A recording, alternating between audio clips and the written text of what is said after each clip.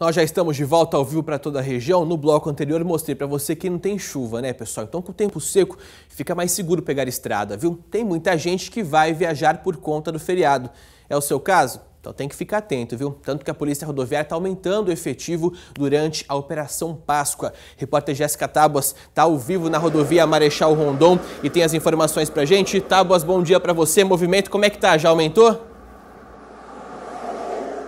Casagrande, bom dia para você, bom dia para todos. Nós já, já, estamos aqui na rodovia já há algum tempo e o movimento por aqui, como a gente pode observar, é grande, viu, Casagrande? Já aumentou bastante, muita gente pegou a estrada e está seguindo sentido interior. Então, logo de manhã pegou a estrada e agora está seguindo viagem para curtir aí o feriadão de Páscoa, né? Mas durante a Operação Páscoa da Polícia Rodoviária aqui na região de Araçatuba, que começou hoje à meia-noite, segue até domingo à meia-noite, a expectativa é de que o fluxo aumente aí de veículos na rodovia Marechal Rondon 30%. A concessionária que administra esse trecho está esperando aí mais de 270 mil veículos durante esse feriado. Muita gente, né? Bom, aqui ao meu lado está o tenente da Polícia Rodoviária, tenente Gersimar Dias dos Santos. Tenente, começa explicando para gente que tipo de fiscalização é feita durante essa operação.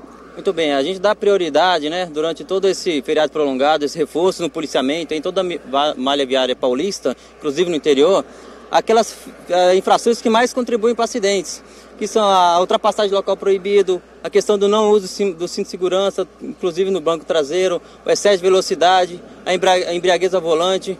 Então são fatores que contribuem muito para acidentes. Então o policiamento rodoviário, aí, a Polícia Militar de São Paulo, por meio do policiamento rodoviário, planejou com reforço, inclusive do efetivo administrativo, para que haja a intensificação nesse tipo de infração e possamos contribuir para minimizar acidentes nas rodovias aqui da região. Essas são as, as, ocorrências que vocês mais encontram nesse tipo de operação. A gente viu que a polícia aqui já está trabalhando, né? Perfeito, já estamos com um efetivo reforçado, né?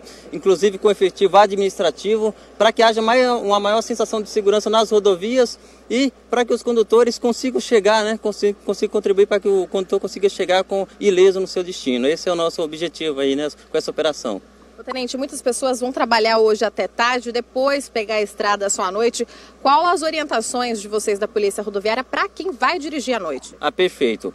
É importante que a pessoa esteja descansada. Antes de verificar, depois, antes, ah, desculpe, depois que verificar a documentação do veículo, do condutor, há necessidade de verificar realmente se está descansada para dirigir, né?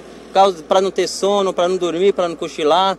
Durante o percurso é necessário que não haja excesso na velocidade, não haja é, abuso na, na, durante a condução do veículo, né? ultrapassagem local proibido, não conduza se estiver é, embriagado, de se bebeu, bebeu, ingeriu bebida alcoólica. Né? São fatores importantes que vai contribuir para que essa, essa família chegue em seu destino ileso, né? ilesa. Esses são fatores fundamentais. Certo, Tenente, obrigada pelas informações, dicas aí fundamentais. Olha, Casa Grande, em Presidente Prudente, a operação começa daqui a pouquinho, ao meio-dia, e vai até a meia. A, desculpa, até as 8 horas da noite de domingo. E a concessionária aí que administra né, toda a região de Presidente Prudente aguarda um crescimento de 45% no volume de veículos durante esse período, principalmente na rodovia Raposo Tavares, que é da região. Já na região de Rio Preto, a operação começou hoje à meia-noite, segue até domingo, à meia-noite de domingo também, igual Araçatuba.